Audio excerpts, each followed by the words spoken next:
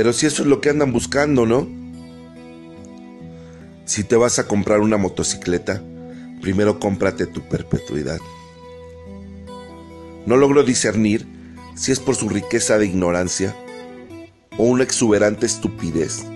Algunas personas, las más, se forman estas exclamaciones en su cerebro, sin imaginar que no solo nos insultan, sino que están del todo equivocadas.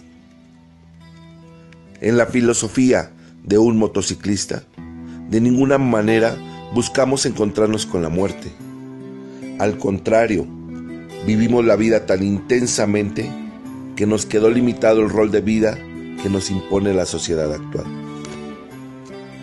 Y como el ave que recibe cuidados y alimento en una jaula, ella escapa al primer descuido de su amo. De igual forma nosotros escapamos a la primera oportunidad que se nos presenta. Y como esa ave no buscaba encontrarse con un proyectil disparado por una escopeta, o de ser interceptado por un depredador en su intento de volar más alto, más rápido, más lejos, así nosotros, en la búsqueda de más lugares, más sabores, más olores, más amigos, más sensaciones, no buscamos encontrarnos con algún obstáculo en el camino que nos haga detener bruscamente nuestro vuelo.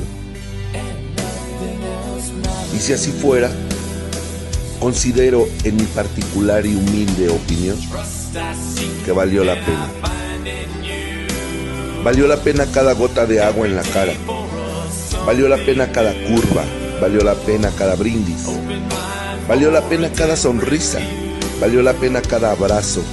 Valió la pena soportar el calor sofocante o el frío que penetraba entre los huesos.